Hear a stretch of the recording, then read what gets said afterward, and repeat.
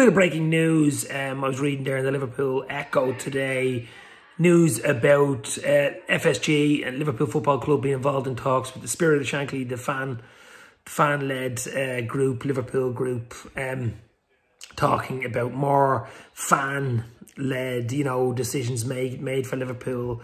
FSG look like they're coming on board, but it's great news for fan fan groups throughout the Premier League and, and throughout the throughout world football, I suppose, because without fans, we've seen it. We've seen it last year with no fans at, at, at the at the the matches. Without fans, the football is nothing. Basically, you know, it needs the fans and and it looks like the spirit of Shankly, who've been in talks since May, I think, with uh, Billy Liverpool CEO Billy Hogan.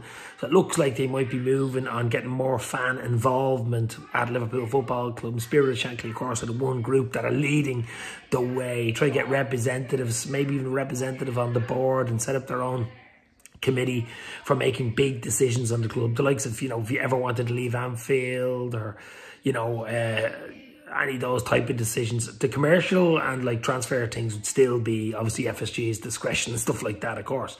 But other decisions like the Super League debacle, which they never, no one, they never mentioned it to fans. They just were all going on their own bat. That was a big, big PR mistake. We all know what happened there. So decisions like that, the furloughs as well last year, all these terrible, really bad PR decisions by FSG. They really were terrible and no fans involved, just bypassing the fans. So this looks like a really, really good news for Liverpool and football in general. So Spirit Shankly, congratulations to them. Great, great work doing behind the scenes.